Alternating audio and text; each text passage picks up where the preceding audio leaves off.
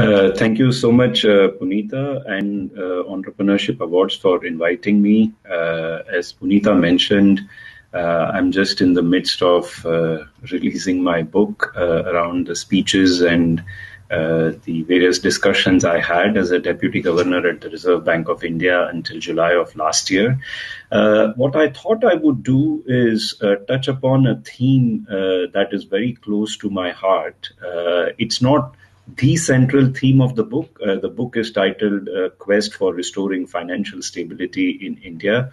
Uh, it is uh, it is a broader uh, discussion in the book on how uh, the central bank, the government, the markets, the firms, the banks all need to strike the right balance in helping India grow well on a sustainable basis. but there is a portion of the book that is focused on how we can create the new set of micro entrepreneurs in India. What role can bank credit uh, play in this uh, in achieving this?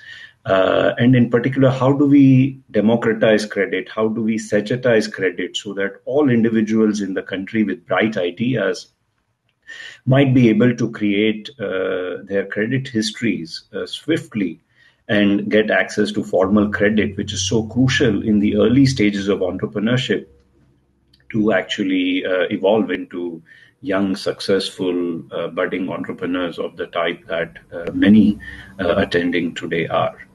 Uh, and uh, if I could, if I could start with a slightly on a slightly different theme before I I give my main remarks. Uh, I've been very closely associated with a charity in India called Pratham. Uh, Pratham is an NGO that is focused on large scale replicable delivery low cost uh, delivery of education for underprivileged uh, children, uh, you know, all over India. Um, and I've been associated with Pratham for over uh, 20 years now. And there are two remarkable things that I have learned about the grassroots of Indian realities, which are very uplifting in my view. Uh, the first is that even in the poorest neighborhoods of India, you go to slums of Dharavi, you go to some of the poorest villages in India, when you visit Pratham's programs and meet some of the parents, what you hear is that even the parents at the last mile, at the last doorsteps, they are keen to get their children educated. Now that's one side of it. That's the, that Indians have an overarching focus on education. They want their children, regardless of where they are in the economic strata, uh, to study well. Uh, I think it is deeply ingrained uh, in our Sanskriti, in our culture. Uh, you know, there's a Saraswati Ma, as you see at the back uh, of me, and that that you know, education is the way out. That is the light, and in in case of poor people, that's your ticket out of poverty.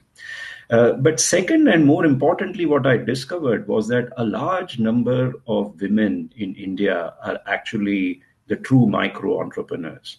Uh, they uh, they take on the most fascinating services jobs uh, at the last mile. Uh, they start off with very small working capital, sometimes extremely small loans, if they are lucky, from formal uh, system, uh, if microfinance institutions or small finance banks or some of our larger banks are there.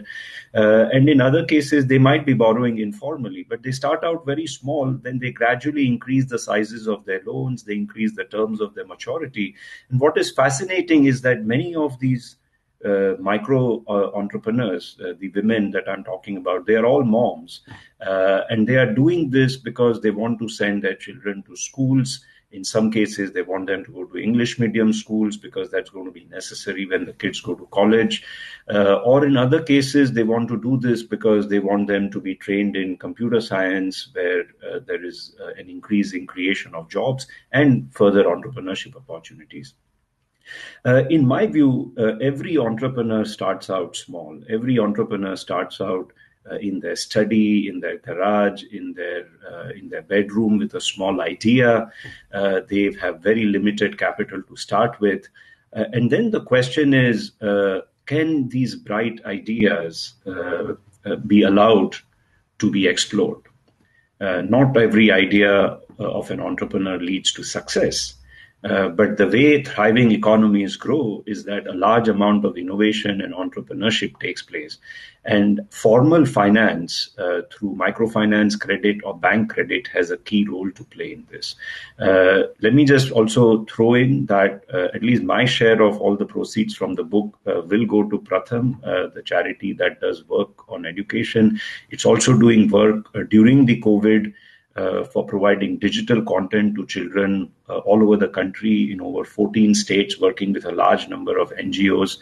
Uh, and uh, I would urge all of you, if you have time and the bandwidth, not just to support uh, Pratham uh, directly or indirectly, but also explore the excellent work being done by other NGOs to support education, entrepreneurship, skilling of the youth in the country. Uh, let me then turn back to what I wanted to really talk about, which is can India's banking system support these kinds of micro entrepreneurs by learning from the shampoo sachet revolution? Okay, so what do I mean by this? If you recall, uh, you go to a small uh, uh, hotel uh, any in any part of India. Usually, when you go for a shower, there is a very small shampoo sachet.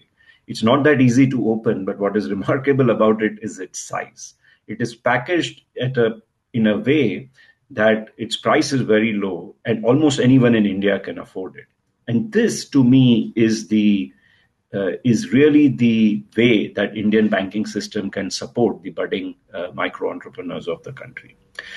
Uh, even seasoned statisticians, of course, can be thrown off by India's scale uh, India's GDP is currently just short of uh, $2.9 trillion. Uh, therefore, we are the world's fifth biggest economy in nominal terms and the third in purchasing power parity. Uh, on purchasing power parity terms, we are now only behind China and the United States.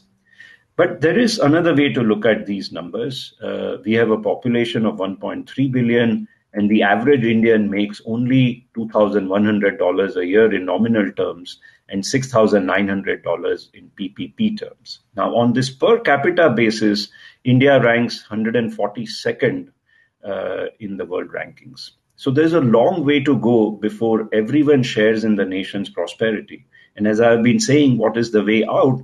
I believe that education, micro entrepreneurship, uh, support of this micro entrepreneurship through the formal banking system is the way out, in my view.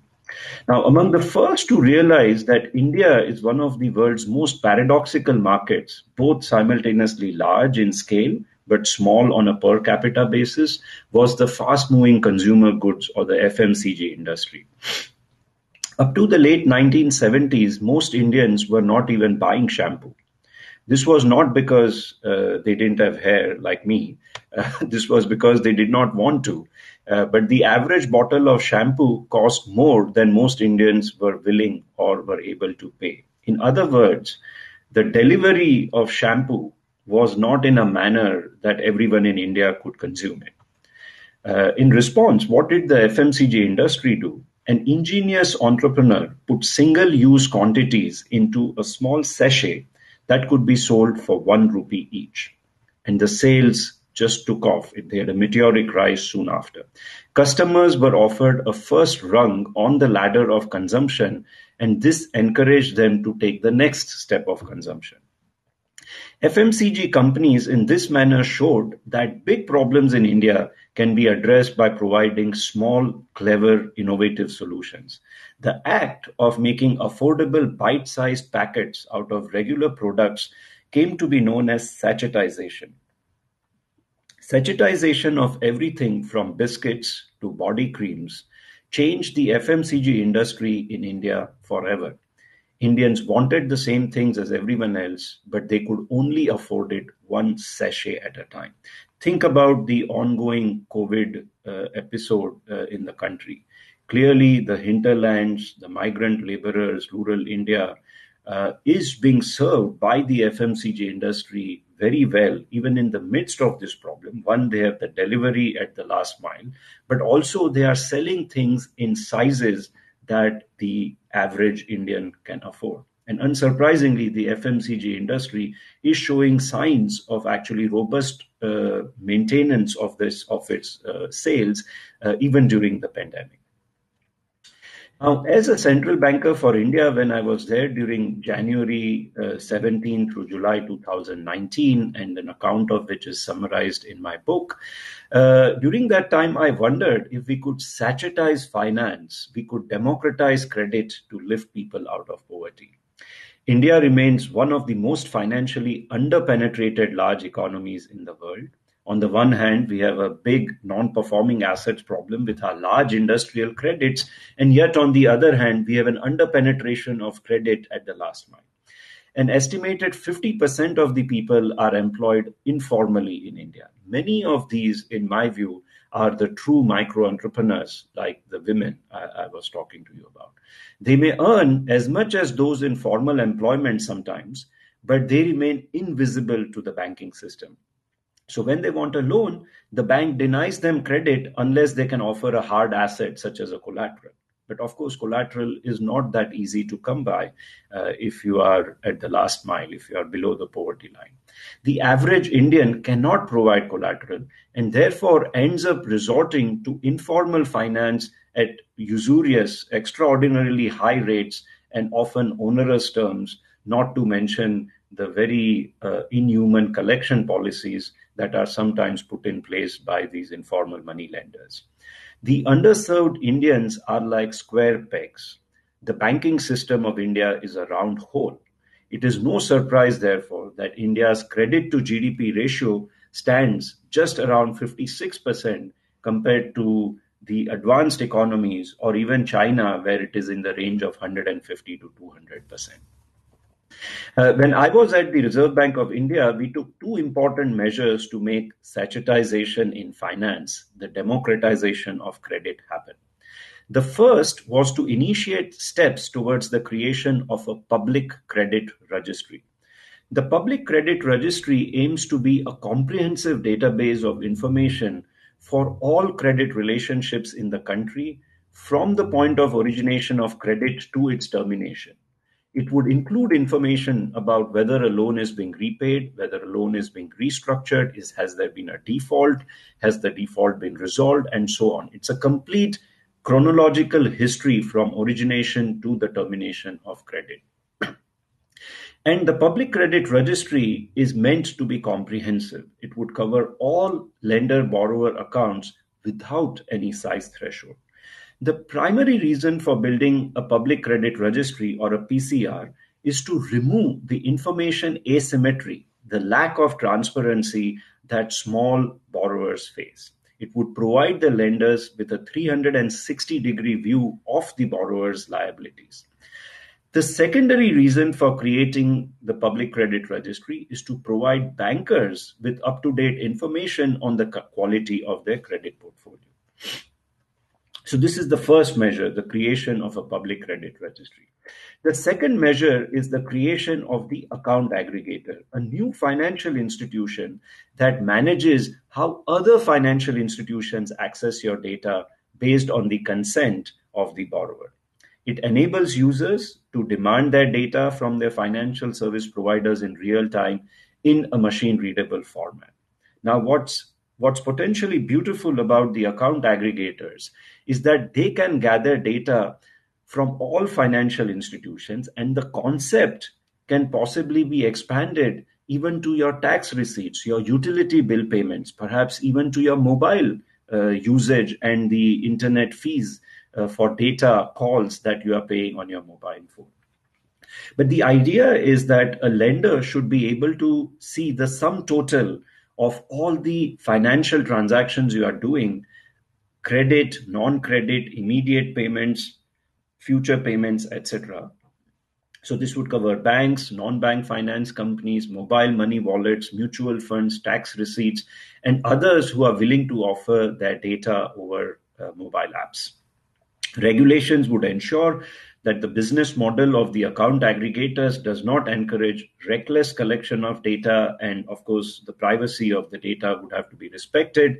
So the account aggregators would have fiduciary responsibility to each individual submitting data to them and they would not just be data brokers for the bank. Uh, they, the account aggregators would simply manage the flow of encrypted data and not actually read it Together, the public credit registry and the account aggregator can allow financial intermediaries to see in near real time the complex patterns of financial cash flows of individuals and businesses. As I mentioned, this could include your utility payments. For small businesses, this could include even their GST invoices they are if they are above uh, the GST uh, net.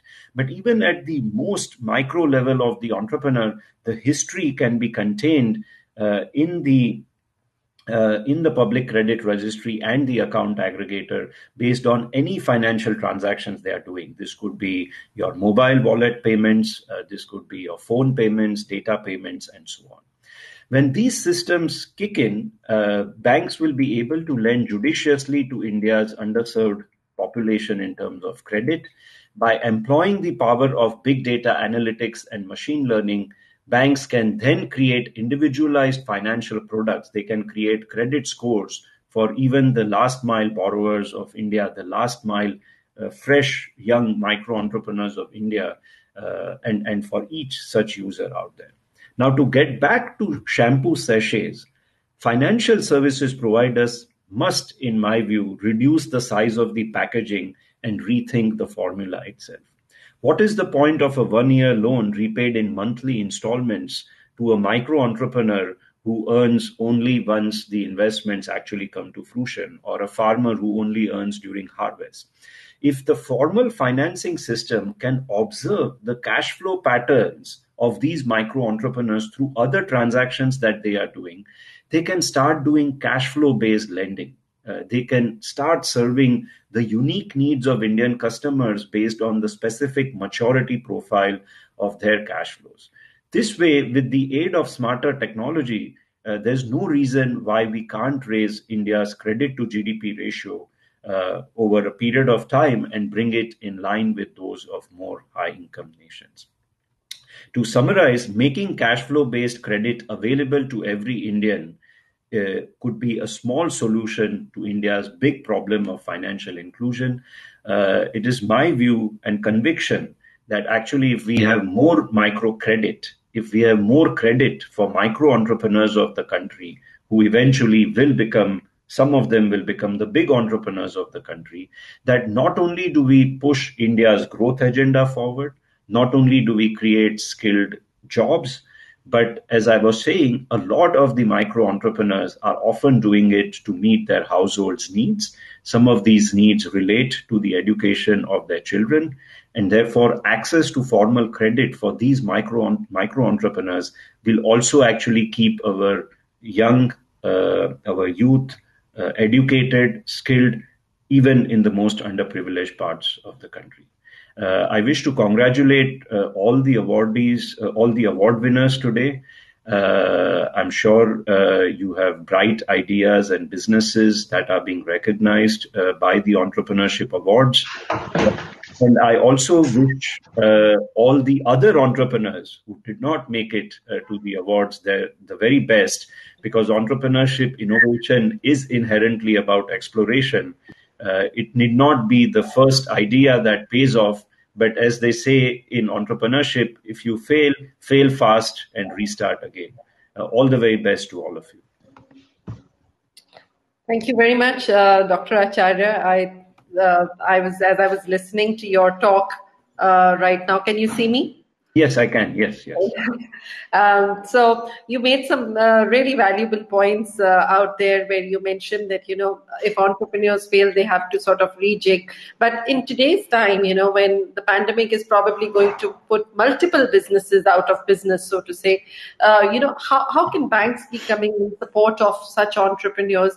I was asking this earlier also that, you know, digital transformation is something that is the need of the hour today, but, you know, it, it cannot for an SME, it's very hard to prioritize uh, that kind of digital transformation and put aside funds for it. So, do you think there could be some innovation loans that can be extended to uh, uh, you know SMEs who can then probably find their way much easily uh, than you know what they are in facing in current uh, situation? Certainly, I think that's a great question. COVID, of course, throws many of our traditional wisdoms on its head. Uh, and if I could uh, make a, make an interesting point here, perhaps somewhat contradicting myself, but only in the context of COVID, uh, my former advisor and my colleague now at uh, NYU Stern, uh, Professor Marti Subrahmanyam, he has been arguing that during COVID, what entrepreneurs need is more longer term finance. They need more equity style finance. It may not exactly be equity. If it has to be credit, then it can't be the typical very short term credit. It has to be longer term credit because we are in a fog of uncertainty, uh, uh, as you rightly pointed out. Now, what would give banks the confidence to be able to make these types of loans? Uh, there are two possibilities that are on the table. First and foremost, uh, banks need to be well capitalized, they need to have capital on their balance sheets to be able to absorb losses. Uh, what has happened, unfortunately, in the country is that a large number of banks over the last decade have just been fighting their past loan or legacy problems. And that has prevented them from having the right risk return attitude and approach towards newer and newer loans to potentially uh, healthy ideas. So that's one. Uh, I think the banking sector and the non-banking financial sector needs to be in great shape. Uh, but the second thing I would stress is that the Reserve Bank of India, in fact, prior to my joining, uh, started recognizing that we need different classes of financial institutions in the country. We need small payments bank. We need uh, uh, we need small finance banks. Uh, we need micro uh, credit institutions. And I think we need to ensure that this whole range of financial institutions are in good health to allow the entrepreneurs, uh, as you mentioned, who are right now undergoing massive transformation, perhaps in the midst of COVID, to be able to take up these opportunities. Sure. And you know, you mentioned that today they need to think in a more, uh, the banks need to think in a more equity style way. And I, from where I'm looking at things, I think five years down the line, the, you know, right now we have sort of a, a, a difference between a startup and an SME with there is more innovation and then SME is more about production and selling. But I, I do see these worlds collapsing together in some way because there is going to be a lot of digitization happening for SMEs. So do you think the financial structure is also going to change? If SME and startup becomes one, uh, in the coming years, then do you think venture uh, debt and venture capital is also likely to see some kind of uh, fusion in the coming uh, years? Uh, I, I think absolutely. Uh, you know, um, in fact, if I could push my uh, former advisor Marti Subrahmanyam's idea a bit further, uh, their idea is that once this long-term finance or equity style investments are made, they could actually be all collected. You know, uh, at the level of India's typical small entrepreneur, again, these are going to be relatively small size loans and you know it is not going to be the case that you can get a large investor directly into each of these loans. But you can pool a large number of these loans together and create some sort of a fund. So uh, uh, the underlying cash flows will still have credit but once you pool them together, a lot of the individual risk of each entrepreneurship loan would be far reduced in the portfolio of loans which is out there. And now you can basically try to securitize that. Right. You know, there could be a safe tranche of this SME portfolio and there could be a riskier tranche. The safe tranche could be bought by those who like to hold debt style paper and the risky tranche could be invested in by venture capitalists and private equity investors. So while the venture capitalists and the private equity would not be directly lending to each small micro entrepreneur, this could be an interesting vehicle through which we could potentially make this possible. So I think the innovations in finance that take small loans and pool them and securitize them to raise larger financing in markets, it's already out there we need to figure out a way to put it to good use in the midst of the pandemic. So, according to you, this is probably the new semantic of uh, investment banking of the 90s. Oh, uh, absolutely. Uh, I think finance always evolves organically to meet the needs uh, of the of, of the economy as it's changing. I think this has always been a property of finance, financial institutions, newer forms of intermediation all through its history.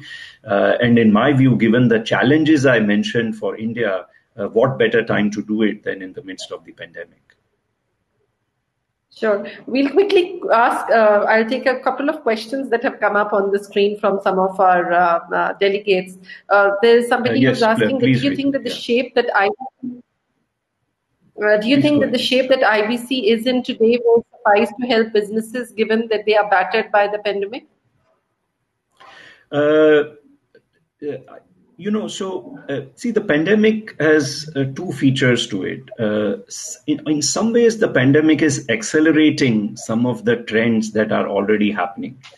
Uh, would we have been uh, switching towards e-commerce in five years' time? Of course, we would have been. That is the trend uh, that is happening the world over, including in India. The pandemic is going to accelerate uh, some of these trends. But at the same time, the pandemic is creating difficulties for some of the services uh, sector entrepreneurs. You know, they could be in hospitality, they could be in travel agencies, a- and so on. Uh, so there's a combination of two kinds of bankruptcies that are likely to happen, in my view. One is a natural creative destruction as we reorient the productive capacity of the economy from old technology to new technology. And second, where the technologies are going to be needed in future as well, but temporarily there is some sort of a protracted slowdown. Now, clearly, for the first transformation, we have to use bankruptcy. Bankruptcy is not punishment, uh, as Raghuram Rajan uh, keeps pointing out. It is a way to restructure debts, and and and that has Yeah. to happen. Uh, in the second set, there is a scope for some temporary accommodation. Uh, the debt moratoria, etc., have been announced. Uh, I, am personally not in favor of the suspension of the bankruptcy code for fresh bankruptcies that has been announced for a whole year. I think that's too long. Uh, it could have been at best been three months, uh, maybe push it a little bit further. But firms have to restructure their debts. This is the nature of financial engineering that firms have to do to ensure that the right hand side of their balance sheet can is always rightly positioned for the operational side or the left hand side of the balance sheet. Uh, now, if we don't have any debt restructuring possibilities, and you know, prepackaged bankruptcies are not that common uh, in India as of now. Banks are not that willing to actually restructure debts just because of violation of certain thresholds, etc. So, if debt restructuring doesn't take place, there is no possibility to resolve debts in bankruptcy and debt burdens keep rising. Uh, I see this as a potential problem for allowing both the cleaning up of the old sectors uh, as well as financial restructuring of those who have temporarily got into trouble. So, in my view, we should position banks with adequate capital so that they are willing to take losses and help firms restructure. And perhaps we should consider reopening of the insolvency and bankruptcy court uh, in the next two, three months, in my view. Sure. We'll take one final question um, uh, where Shanu says that a major problem in India is of non-institutionalized non-institutionalized transactions for SMEs and MSMEs leading to black money creation, which is inherent to the way Indian economy works. So how can we approach this problem from a long-term impact on the way India transacts?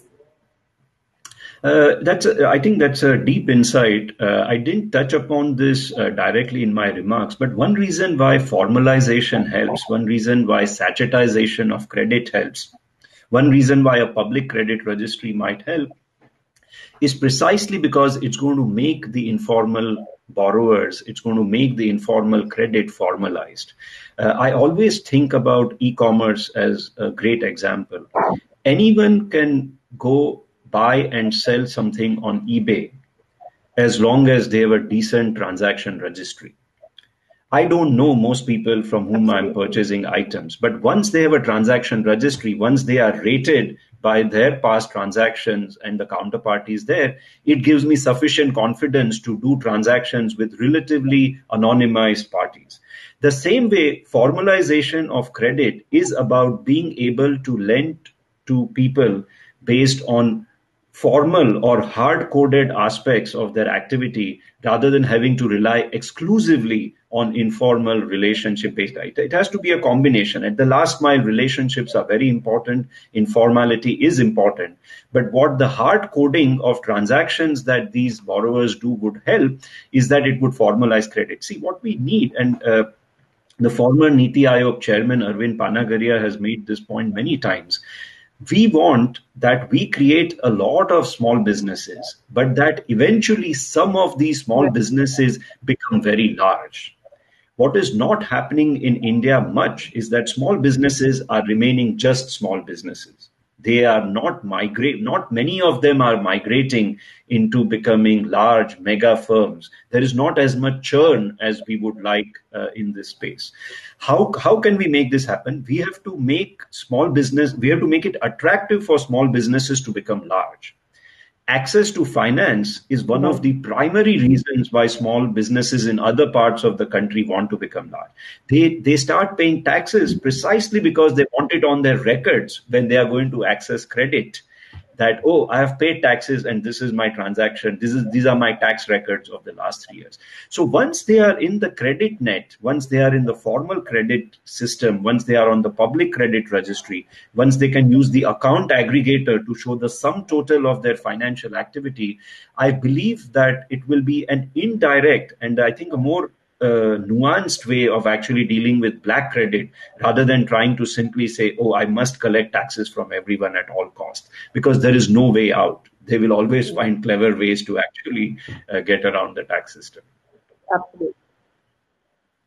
No, I think that is very well said. And I think the, the you mentioned about credit registry, and I think now in India, when we are getting digital with small businesses, platforms like Facebook or Flipkart or other such digital platforms where people are going to sell their merchandise or products or services uh, would actually find it much easier to be able to qualify their merchants, uh, which is otherwise very hard for them. Um, so, I mean, I'm sure you've seen such examples absolutely. in the yes, US. Yes. Yeah, yeah, You know, it's like make it uh, easier for them to do business. Right, right. Absolutely. Like you know, Amazon score for my book the score of uh, of an auction of someone who's wanting to auction items on eBay. These are no different than what credit score should be.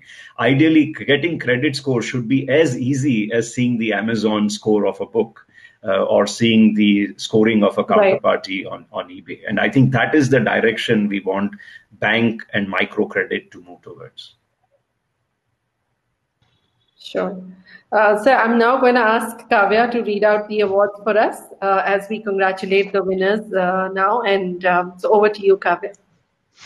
Thank you very much, Ritu, and thank you very much, uh, Dr. Acharya, for beautifully sharing your thoughts. I think it was a very pertinent question that was on people's minds, and thank you so much for joining us and sharing your thoughts. I'm going to request you to please be with us for the next couple of minutes as we also go about to congratulate our award winners uh, for this fabulous edition of the Entrepreneur India 2020. So let's begin with our category here. Entrepreneur of the Year in Service Business, SCM and Logistics. And the award goes to Mr. Anjani Mandal, who's the co-founder and chief executive of Fortigo. So let's all come together and probably have a round of applause as well. In fact, uh, a little bit about Okay, I think there's a little bit of sound there from the uh, team side. I'm just gonna correct it. Let's quickly move on to our next uh, uh, category. Before that, let me quickly share Fortigo for that matter. During the 28 years of their uh, experience in the IT BPO and manufacturing, uh, Mr. Anjani, in fact, has led businesses through transformation and various stages of growth. So very, very befitting award there. Moving on to Entrepreneur of the Year in Service Business Financial. And the award goes to Atul Shinghal, who's the founder and CEO of Scripbox Advisors Private Limited. Mighty congratulations indeed, because they believe in providing peace of mind by always being available to work along with you as well. Super. We talked about entrepreneurs. So let's move on. Entrepreneur of the Year in Service Business Security. Mr. Trishneet Arora, founder and CEO, TAC Security. Congratulations, Trishneet. I will have to keep uh, I think I just, yes. Yeah, I'm going to request Ishan to please uh, put yourself on mute so that I'll quickly announce even the rest of the winners, all the enterprising winners here. Moving on uh, from security, let's move on quickly to entrepreneur of the year um, in the service business. And this time we're talking about food, and the award goes to Mr. Jaydeep Barman and Mr. Kallol Banerjee who are the co-founders of Rebel Foods. So congratulations indeed to the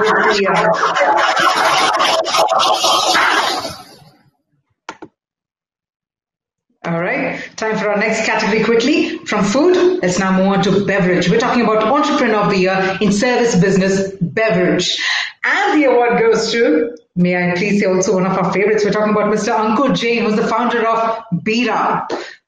Wow, congratulations indeed. I'm sure a lot of people are busy saying cheers to themselves in this era with Bira. And uh, Bira, as we all know, is a refreshingly modern beer brand. And I think the way they've scaled, the way they've transformed uh, the entire beer industry, it's amazing. So congratulations. Moving on, we're now moving on to another important sector, Entrepreneur of the Year in Service Business Education. And the award goes to Mr. Ashutosh Kumar, who's the co-founder and CEO of testbook.com. So congratulations. Very pioneering uh, uh, sector out there in the field of education, Mr. Ashutosh Kumar of testbook.com.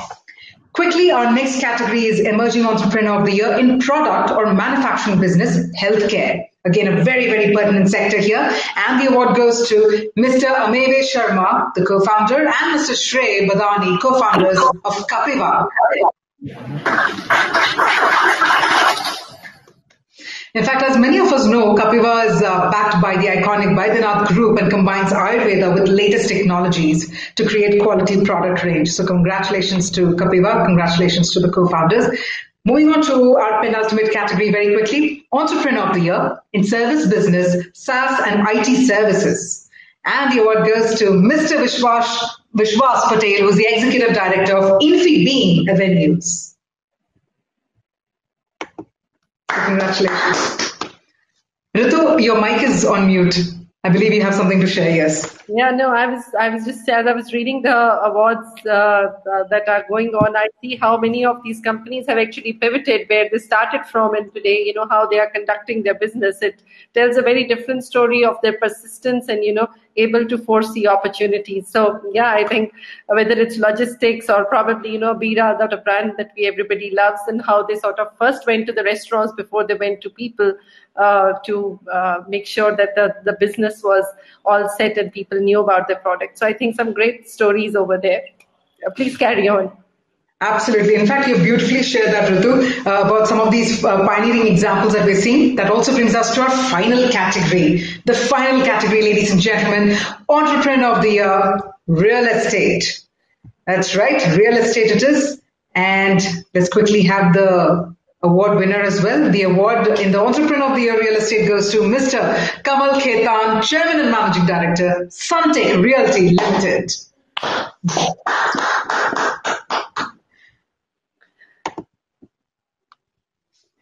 Well, I, uh, you know, I, I do see, you know, these award winners, and so thank you very much for doing the honors, Dr. Acharya. You know, they, they're some of the most emerging companies in India. They're already sort of grown big and become sizable, whether it's cloud kitchens or whether it's a beer brand, which is very own Indian, started from India, or a logistics company like Fortigo, which has been there and have time and again sort of uh, gone back to their roots to figure out how they can improve their business model through technology and lots of other areas, or even a real estate company like Sunteck, which is providing quality real estate, particularly in uh, the western part of the country.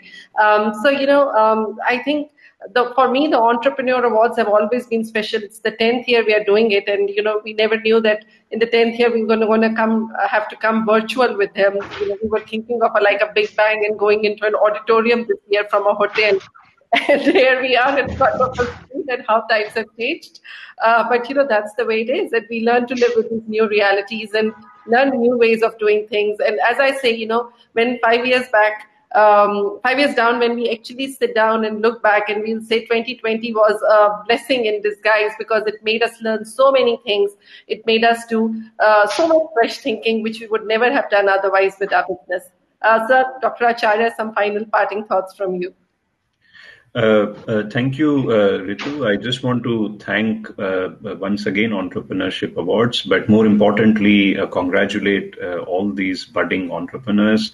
I wish your firms the very best. and if I could end where I started, I think to me, a country becomes great, a society becomes great uh, it becomes lasting in terms of the value it creates uh, for the last mile uh, consumer, uh, the citizen of the country, if we can somehow make uh, the whole more than the sum of the parts. Uh, clearly, entrepreneurship is about innovation. It is about the specific interests of each idea creating agents. but while you push on your own ideas, I would urge all of you to keep in mind uh, that uh, in the end we have to make uh, the whole add up to more than the sum of the parts. on these lines, I would strongly recommend that you consider supporting other fellow entrepreneurs along the line. I think it's not so much about uh, competition as creation uh, that makes uh, a society uh, sort of reach uh, the consumer in the last mile and create more value for everyone at the end of the day. Uh, I think skilling, education, I think these are the primary ingredients that we need. and I stress both education and skilling because sometimes education is very geared towards traditional jobs. It's not always adapting to where the new jobs are. But therefore, vocational training and skilling uh, can actually, and you know, maybe one should be thinking about uh, entrepreneurship schools. You know, how do we make people uh, uh face some of the entrepreneurship challenges? So, so just my uh, my my last consideration for all of you: give back uh, to the society as and when you make it really big. and if along the way you can actually carry some people along, I think your enterprises would be so much even more worth and value to the to the Indian diaspora.